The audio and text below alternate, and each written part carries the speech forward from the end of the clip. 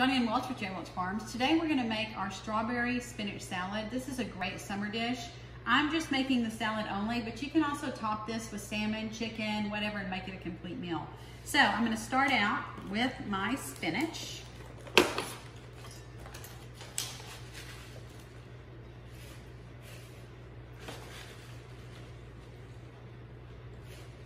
Put that in our bowl.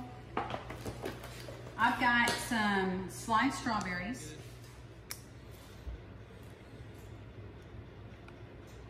Next, I'm going to sprinkle in some slivered almonds.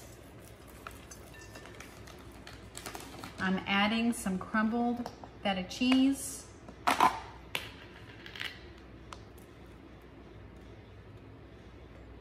Okay, this is gonna be really, really good. So you can toss it or you can leave it like this. I'm going to toss it.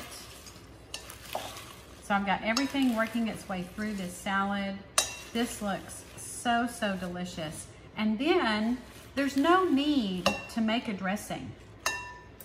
So I've got our lemon extra virgin olive oil and all I'm gonna do is just drizzle it on the top. And then I have our fig balsamic. So I'm just gonna drizzle it in with it.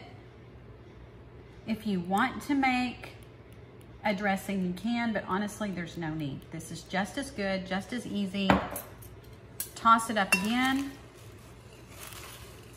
Your family will love this. And if you put a piece of salmon or a piece of chicken on top of that, it is just going to be really, really good. Hope you guys enjoy.